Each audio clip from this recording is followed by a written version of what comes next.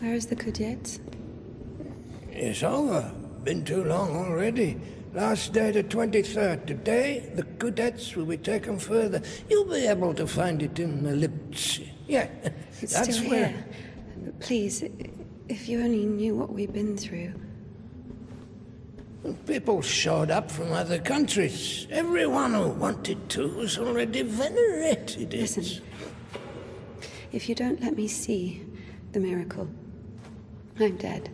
Literally, dead. And he. I can be honest with you, right? Can I confess to you? Oh, sure. He escaped from prison to commune with the miracle. What do you mean? If only you knew what he's been through. Oh, fine. Wait here. Wait here.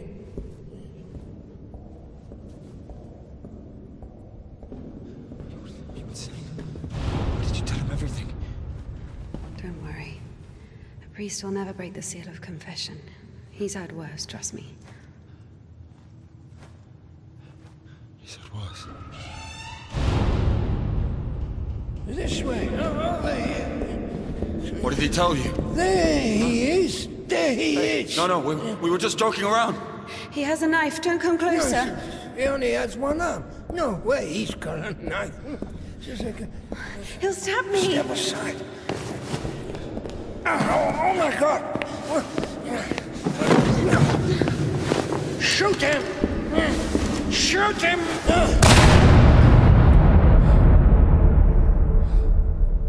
Freedom, my dear.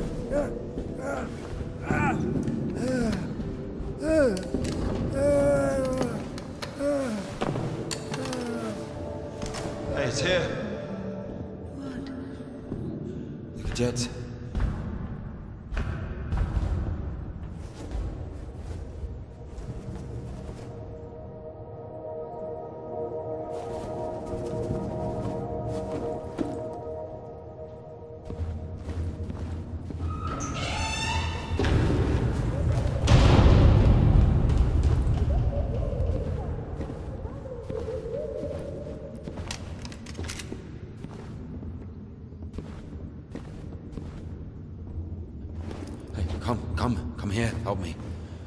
Hold it, hold it. Like that. Hold it. Come on, hold it. Come out with your hands up. Don't you dare. I'm gonna count to three.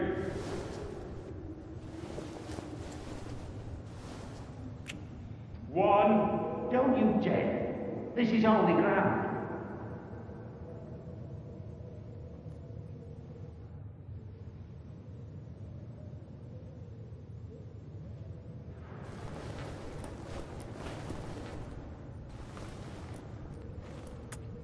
Two,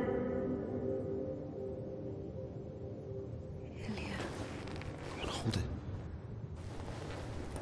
Usually people show up about their legs. and they grow back.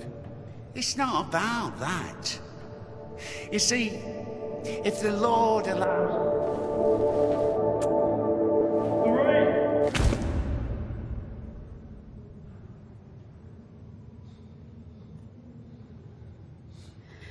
Enough. Let it go.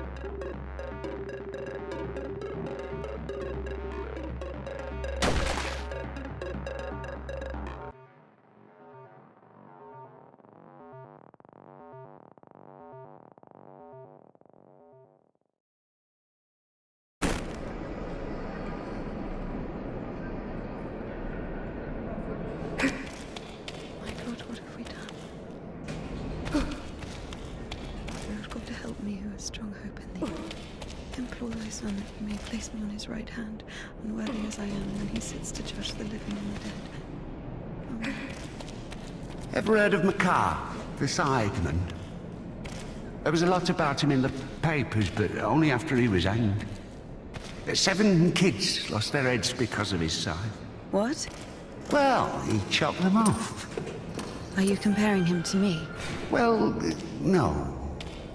No, I think Makar is something of a saint. Uh, Listen, let me tell you. Makar had three kids, all of them boys.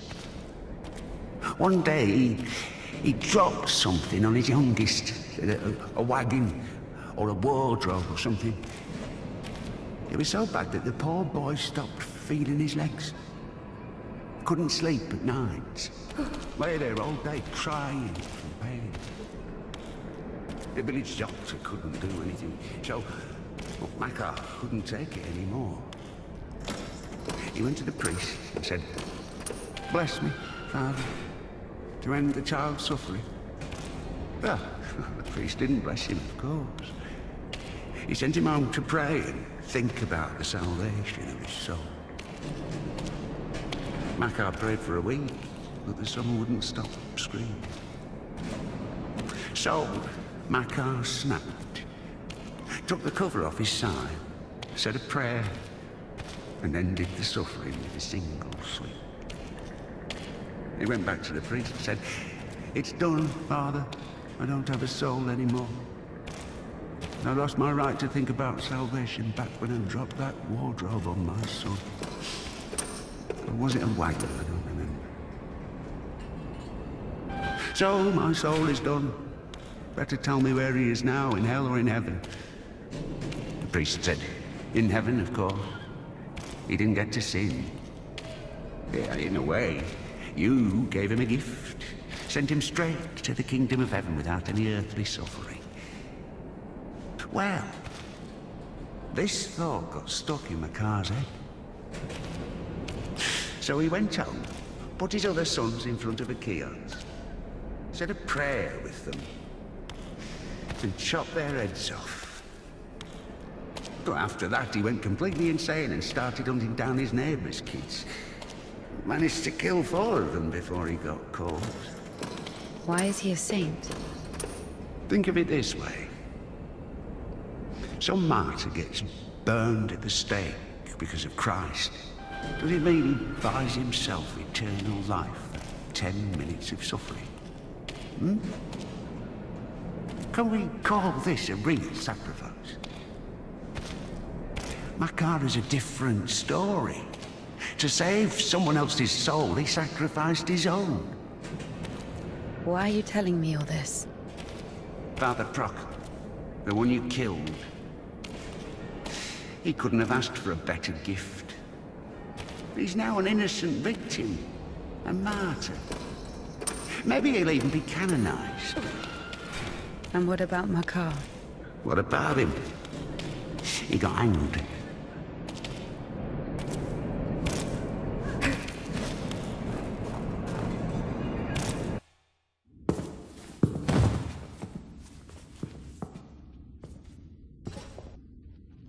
And what will happen to me? Get hanged, I guess. Listen. What's your name? It doesn't matter. Need something? Doesn't matter indeed. Listen, we didn't kill Father Buckle. Let me go. Don't hate your conscience with sin. I'll repay you. And what exactly can you repay me with?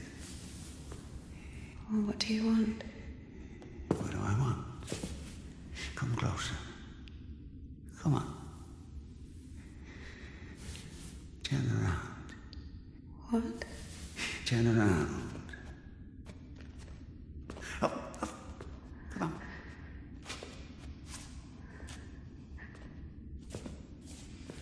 Now sing. What? I don't know.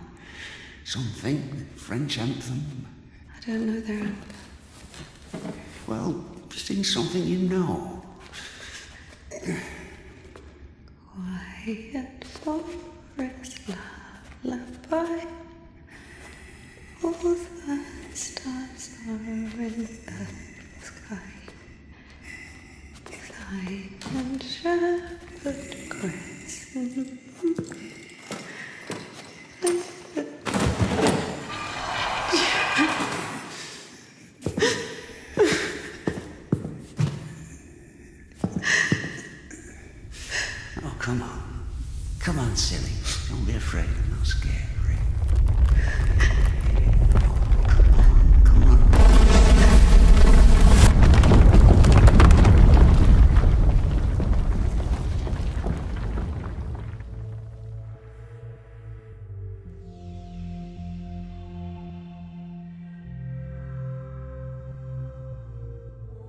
I guess I can't do anything worse than that. It's so easy to step over everything you believe in. Step where? Somewhere. Onto your side. What kind of side is that? Are you going to argue again? That there are no sides? That there's neither good nor evil? Well, you can try. Convince me that I haven't done anything bad. Or can you not even do that now? Bad? What does that word mean? I've killed a priest. Don't play dumb. I'm not. But still, what exactly does that word mean? Bad. Sinful. Of the devil. And how do you know what is of the devil and what is not? There are commandments. So we're checking against a formal list of regulations. No, everything is really obvious. It's evil, dishonest, unfair. Evil? There's not a drop of evil in despondency, avarice, or bawdry. Dishonest? A dog is honest. It eats when it's hungry, bites when it's scared, copulates when there's someone to do it with. Well, you remember. I'm talking about intentional dishonesty for one's own gain. So, pretending your whole life that you don't want something you want, that you don't feel something you feel for eternal life in heaven, doesn't that fit perfectly with your definition? What else did you say? Unfair? Is it fair that one tree has a thousand leaves and another two thousand? Is it fair when two people throw the dice, one gets a six and the other gets a two?